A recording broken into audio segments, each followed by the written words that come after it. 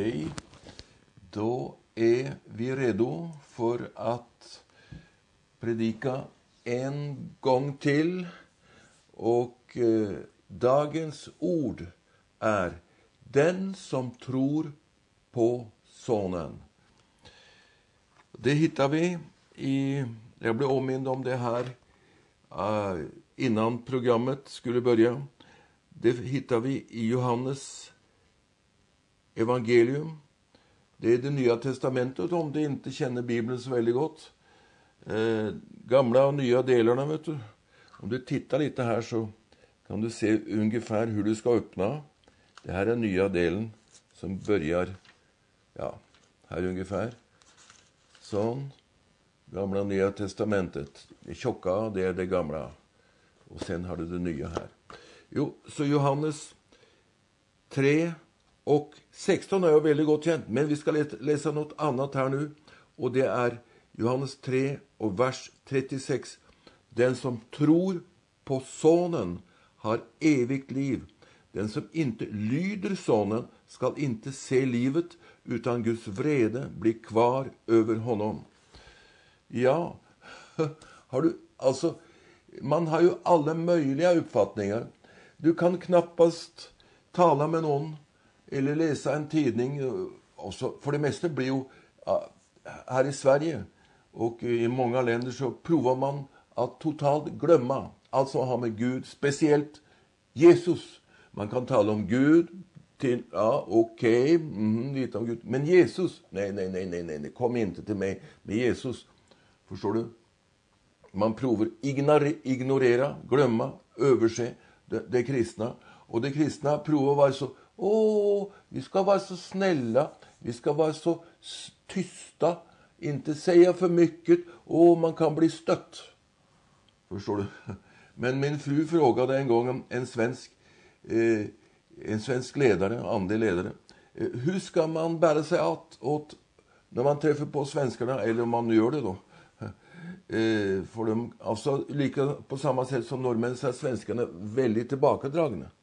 Och, och de är trevliga, snälla, men inte så, eh, inte så lätt att komma i kontakt med svensken. Men, inte sant? Ja, vad sa han? Ett gott råd hur man ska komma i kontakt med svensken, med evangeliet. Chock! Alltså, överraska dem. ja, jag, jag skojar lite med dem, men det var något sånt åt det hållet han sa. Så det gör jag här nu. Ett litet attack. Inte sant? Tro inte att du får komma till himlen därför att du är snäll. Nej, det håller inte. Därför att det som står här är att den som tror på Sonen har evigt liv. Det finns bara endast en väg att komma till himlen och den går genom Jesus. Om du tror på Muhammed eller eh, Buddha eller någon, någon eh, afrikansk eh, eller eh, indonesisk eller Eh, Eh, whatever. Om du tror på jungfru Maria. Alltihopa. Allt det andra. Nej, det hjälper inget. Om du provar att vara snäll. Du vet att i gamla dagar så var det sånt för några år sedan att de, om de skulle ödmjuka sig för att kunna bli en kristen, för att bli godtagen. Och då hände det att de, de gick så långa sträckor vet du, på knäna. Och det var en trappa där som eh, i Roma vart någon kom då, eh, någon kom gående på sina knän. Du kan tänka dig att man gick med, med, med bandager och eh, omvindlade om knäna så, för att man inte skulle blöda för mycket. Hallå!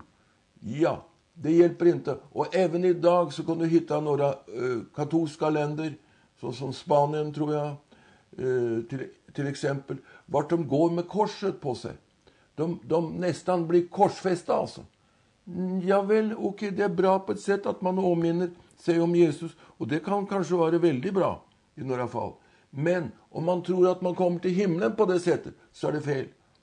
Du kommer inte till himlen genom att slå dig och piska dig på ryggen själva eller få någon, få, låta någon göra det för dig för att du, du tycker att du behöver straff. Jesus tog straffet på sig. Det är det vi måste komma ihåg. Han blev slagen för våra överträdelser. Straffen tog han på sig för att vi skulle ha frid med Gud. Amen. Och eh, vi ska slå upp här nu Galaterbrevet. Då, då springer vi här från Johannes, evangelierna. Vet du, det, det är ju lite som eh, de, de fyra, Matteus, Markus, Lukas, Johannes. Det är ju, många börjar där. I, man tycker att det är på ett sätt sätt ett introduktion till, eh, eh, till Bibeln. Att det kan vara bra att eh, läsa evangelierna först. För att då har man också till en viss mån tillbakablick tillbaka på Gamla testamentet. Och då, som är grunden för det hela. Så eh, kanske man då börjar läsa första Moseboken. Okej? Okay? Och när du kommer till tredje, fjärde Moseboken så börjar det bli väldigt svårt och trögt att läsa. Släktliste, ett namn på den och namnet på den, förstår du. Men nu ska vi ta ett viktigt punkt här nu. Johannes 3, urs, ursäkta, Galaterbrevet 3 och 13. Eh, Kristus friköpte oss från lagens förbannelse när han blev en förbannelse i vårt ställe. Det står skrivet, förbannat är var och en som är upphängd på 3. Vi köp, friköptes, vers 14, för att den välsignelse Abraham skulle få i Kristus Jesus komma till hedningarna och för att vi genom tron skulle få den utlovade anden. Hallå! Det var den utlovade anden som inte hade kommit ännu. Den kom på pingstdagen. Den kom genom att Jesus blev en, blev en förbannelse för oss. Ska vi läsa här en gång till? Fri, eller på svenska står det Kristus. Vi ska börja här i vers 12. Men lagen säger inte av tro. Vad säger den? Utan den som håller dessa bud ska leva genom dem. Det är lagen. Den som håller buden ska leva med dem. Det är uh, inte själv, du ska tro på Gud.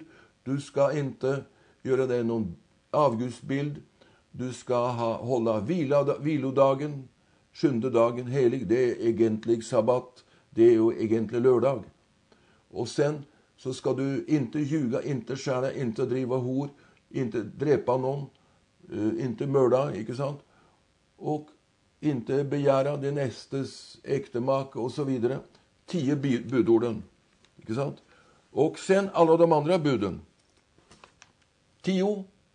Det är, det är själva grunden för lagen. Och sen kommer alla de andra. Men vad står det?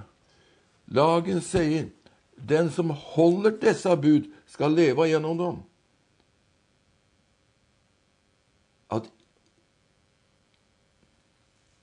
eh, låt oss gå lite längre tillbaka, vers 11. Att ingen förklaras rättfärdig inför Gud genom lagen är uppenbart eftersom den rättfärdiga ska leva av tro.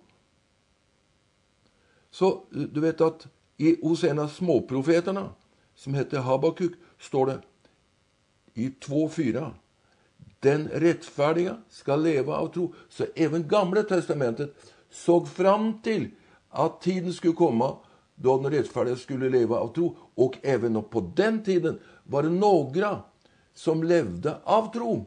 Som hade fått tag på det hela, vad, vad, vad det går ut på. För det, det var i Gamla testamentet är det som om som själva, som själva eh, syftet med ordet, syftet med Guds frälsningsplan, den var dold. Men syftet var att komma fram till det, till dess att Gud sände sin son. Och han är ju hela gamla testamentet profeterad om. Och vad var han skulle göra för något? Jo, han skulle ta på sig syndabörden. Synder, synderna som våra fäder har gjort, som vi har gjort, som vi kom, alla människor kommer att göra de tog Jesus på sig på korset. Hallå! Och då blev det så som det stå, står alltså i Habakuk, en av småprofeterna, just eh, innan det blev slut på Gamla testamentet. Kan vi läsa det? Där står det, den rättfärdige ska leva av tro.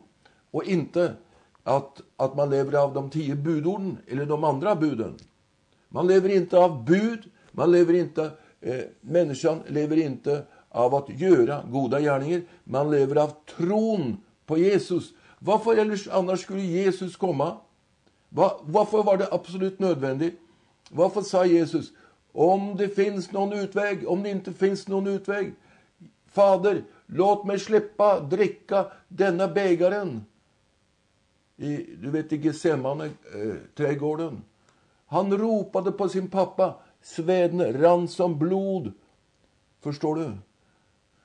Han fick denna här våldsamma bördan på sig. Syndebördan. Alla dina synder som du har varit tyngad av och tryckt ner av. Och jag kommer ihåg när jag blev frälst så, så provade jag vittna vet du, och berätta för de andra i, i blocket där jag bodde. Eh, när jag var i tvättstugan så kom jag dit ner en gång vet och träffade på en av dessa fruna, frun, fruntimmarna från den uppgången där. Och, och, och jag provade att berätta om Jesus, men hon sa nej, nej, nej, nej, kom inte med det där. Men, sa hon, jag ser på dig att det hänt något. Därför att du är förändrad. Tidigare gick du så där, såg ner. Nu går du med rakt huvud. Ja, det gjorde jag. Jag började gå med rakt huvud när Jesus flyttade in. Ska jag berätta för dig. Så när Jesus kom in så lämnade, så lämnade skuldkänslan. Den som tyngde mig ned, som drog mig ned och höll mig fast och fång, fången. Jag var fången av min, mina egna synder. Jag kunde inte släppa undan. Och därför, därför så, så kallas den här tio budorden och de gamla, de gamla budorden från Moselagen kallas syndens och dödens lag. Jo, för att eh, synden fördömer oss därför att vi, nej ursäkta, budorden dömer oss, fördömer oss därför att vi klarar inte att hålla dem. Och, och även, även eh, budorden även väcker upp vår synd och gör den levande och aggressiv. Det blir skoj att synda på något sätt om du förstår vad jag menar. Man får en slags dragning till synden på grund av budorden. För den väcker upp begäret som redan är där i våran skröpliga kropp. Men därför dog vår gamla kropp med Jesus. Syndakroppen dog tillsammans med Jesus när han dog på korset. Det är de goda nyheterna, ska jag säga till dig. Så vad hände då? Alltså vi är nu i, vi har kommit till det slutpunktet för evigheten. Det är punktum i Guds frälsning. Det kom genom tron. Därför att det står ju det att tro, så blir de stående, dessa tre. Tro, hopp och kärlek. Det är evighets. De, de är beståndiga, de tre beståndsdelarna. Tro, hopp och kärlek. Vem hittade på tron? Det var Jesus. Det har jag berättat om här i ett av programmen. Jesus är upphovsmannen till tron. Och vart kommer hoppet och kärleken ifrån? Gud är kärlek. Förstår du? Så det här som blir stående i evighet, det är gudomliga eh, karaktärsdrag som flyttar in i dig och som börjar bli en del av dig när du blir kristen, när du blir född på ny, när du blir en ny skapelse. Och hur får du tag på det? Jo, att Gud bildar sin tro. Han släpper in lite tro in i dig, vet du. Han, han, han matar dig, han, han ger dig lite mat som du kan äta. Mm, kom nu, Harald, mm, äta. Nam, nam, nam, nam. Trons ord, Guds ord, det är gott. Smak och känn att Herren är god. Förstår du? Och då får vi så småningom tag på det här och så börjar han flytta in i oss själva. Hallå? Det här händer genom ett under som kallas tron. Tro. Den som tror på Sonen har evigt liv. Du kan inte hitta på det här själva. Och om du säger att nej, jag, jag vill inte tro. Jag, jag, tror inte på det här. Det är för gott att, att vara sant. Nej, jag, har, jag behöver inte. Gud, jag behöver inte det där i frälsning, vad det är för något tokigt. Jag klarar mig själva. Om du har den hållningen där och du håller på med det där kanske några år så en dag så kommer det till den punkten att du kan inte tro. Det är inte, det är inte möjligt för dig längre därför du har förhärdat ditt hjärta. Bevara ditt hjärta framför allt som skall bevaras, står det i Ordspråksboken kapitel 3, vers 11 tror jag. Eh, därför att livet utgår från det, alltså från hjärtat. Från hjärtat kommer alltså tron, den, den eh, livet som eh, flyttar in i ditt hjärta tillsammans med tron. Förstår du? Så här har vi alltså, vi, vi må ta en gång till. Vad, vad talar jag om? Jo, den som tror på Sonen har evigt liv. Det eviga livet i Gud. Guds eviga liv har redan flyttat in i dig när du tror. Förstår du? Och det upplivar hela dig, hela din varelse. Därför kan också folk bli helade. Några blir helade just i den ögonblick, ögonblicket de blir frälsta. De börjar tro, poff, så kommer livet in i dem, så blir de helade och så blir de förvandlade på många sätt. Ja, ja jag ser att redan så ser jag att i anden, ja, bojorna släpper dig. Du blir fri nu därför att Gud talar till dig genom mig. Så har bojorna släppt dig. Amen. Och eh, det är någon där som har någon smärta i ett öga. Eh, det släpper dig nu. Du är helad. Du är, den sjukdomen är borta från dig. Det är någon som har, någon som sali, vad kallar de det, något, något gult eller grönt som rinner ur ditt öra. Ja, du är helad i Jesu namn.